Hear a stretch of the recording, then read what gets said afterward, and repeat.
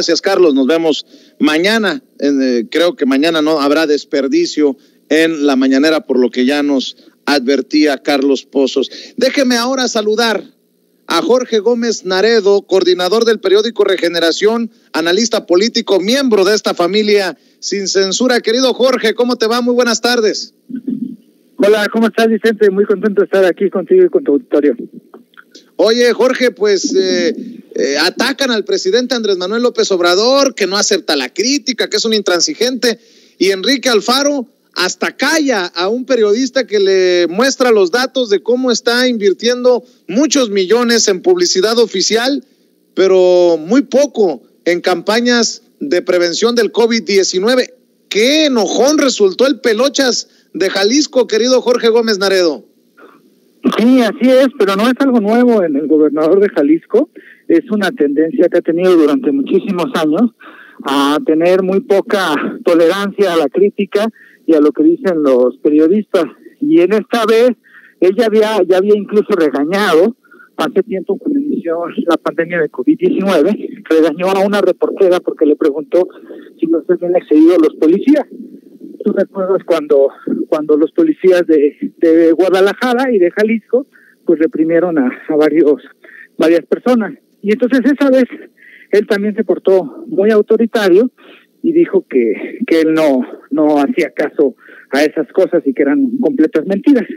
Y bueno, pues ahora que inició una especie de mañanera semanal, la hace todos los lunes, pues entonces eso fue la de ayer, apenas creo que es la segunda mañanera que él tiene, o la, segunda conferencia de, de, de, prensa semanal, y pues resultó que ya no aguantó la crítica, ¿no? Pero además la actitud fue una actitud con un tono completamente con tufo autoritario, donde, donde pues le dice al reportero prácticamente que es mentira. Entonces imagínate que así hubiera contestado el presidente Andrés Manuel a una crítica de un reportero, ya te imaginarás lo que hubiera sucedido, ¿no?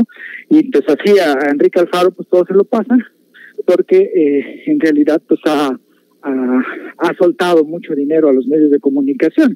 No sé si ustedes se han fijado, pero el Diario Reforma pues cada vez lo, lo coloca más como una persona muy capaz y como un presidencial. Uno ve las notas en el Reforma y pues son notas muy positivas para Jalisco, entonces ahí es, esta, esta situación. Así es, pero eh, a ver, eh, no, no es poca cosa en momentos en que, por ejemplo, mañana va Julio Astillero eh, a dar su réplica en el quién es quién en las mentiras, no es poca cosa el trato a la prensa que le da Enrique Alfaro eh, a los incómodos.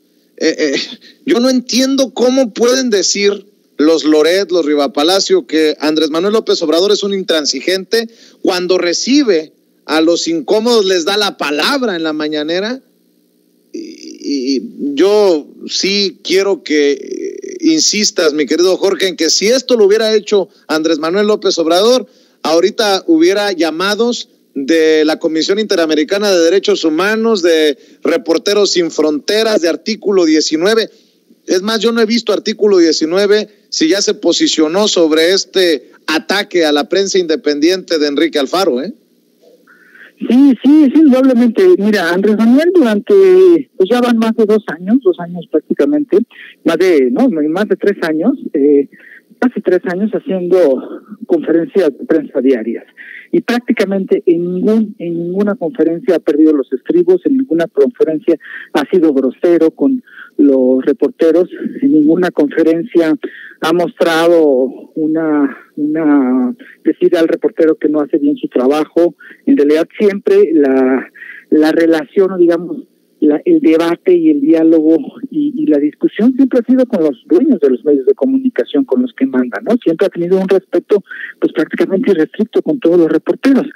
Y entonces, eh, en este caso, eh, durante muchísimo tiempo. No ha habido ningún, incidente y sí ha habido una crítica a los medios de comunicación, sí ha habido una crítica a la cobertura que, realizan de, de, todo lo que de todo lo que pasa en el país pero nunca ha habido una reacción a la eh, situación como la ha habido de, de, Enrique Alfaro, que es su segunda conferencia de prensa, digamos, donde los reporteros tienen un poquito más de, de, libertad para preguntar. Entonces, lo que ha hecho Andrés Manuel López Obrador, la forma en cómo ha respondido siempre a los reporteros, ha sido de un enorme respeto por la profesión periodística, por el estar ahí en las mañanas, por el estar ahí eh, preguntando, por informarse.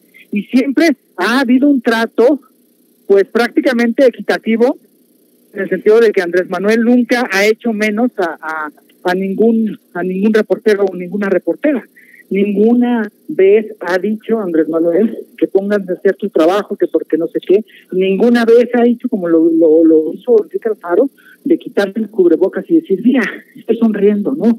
O sea, ninguna, ninguna, ninguna. Y si lo hubiera hecho, si hubiera tenido, digamos, nada más la actitud que tuvo Enrique Alfaro, ayer, pues como bien lo dice, ya organizaciones de la sociedad civil, medios de comunicación, hubiera sido pues prácticamente portada y hubiera artículo 19 sacado un comunicado, Iván Pipe hubiera hecho un meme, en fin, todas estas situaciones que no se han eh, eh, hecho con Enrique Alfaro.